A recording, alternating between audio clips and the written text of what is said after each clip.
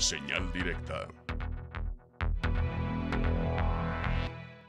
Hasta noviembre del 2021 al interior de las filas de la Guardia Nacional existían 464 quejas contra elementos por hechos violatorios, según la Comisión Nacional de Derechos Humanos.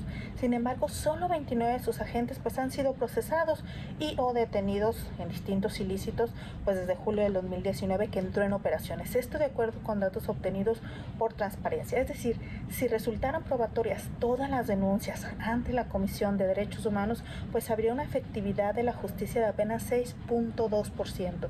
Y es que desde la creación de la Guardia Nacional en el 2019, el presidente de la República ha insistido que este cuerpo de seguridad no viola los derechos humanos, que está desterrada la tortura, pero los datos dicen otra cosa. Según la propia Secretaría de Seguridad y Protección Ciudadana, pues muestra que entre los delitos con los que se relaciona estos 29 uniformados de la Guardia Nacional, 8 son por homicidio en distintas entidades eh, del país como Chihuahua, Tamaulipas, Ciudad de México, Quintana Roo y Jalisco.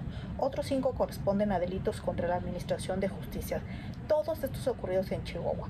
Hay cuatro en Quintana Roo por tratos crueles, inhumanos y degradantes. Cuatro más en Baja California por falsedad de informes. Le siguen tres más por desaparición forzada en la Ciudad de México, dos por evasión de presos en Tlaxcala y otros dos por lesiones en Guanajuato y Michoacán. Y además por portación de arma de uso exclusivo del ejército en la Ciudad de México. También existen 19 denuncias más en contra de sus agentes por presentación de documentos apócrifos, abusos de autoridad, así como el extravío de armas.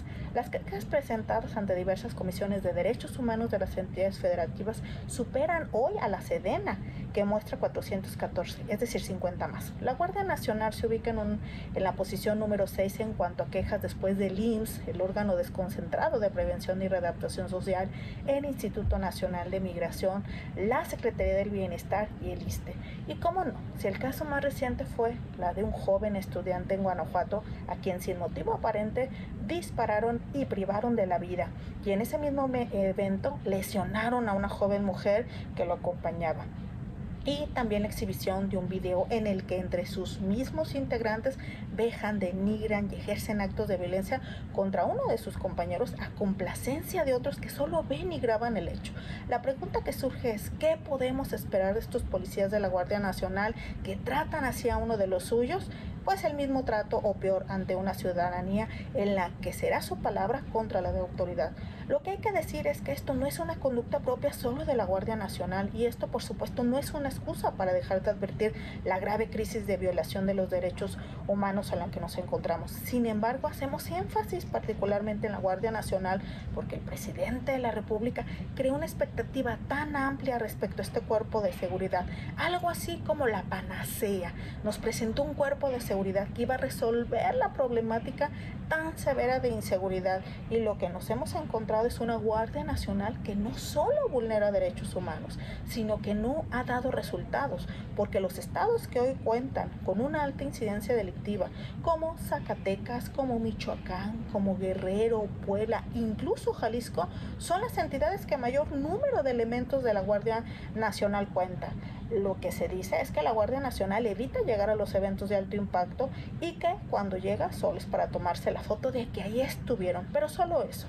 La conclusión es que tenemos una Guardia Nacional que viola los derechos humanos de la ciudadanía, una Guardia Nacional indiferente y que incluso infunde miedo entre la población y el problema se agudizará con la iniciativa del presidente de la República al querer volver a la Guardia Nacional un grupo militarizado.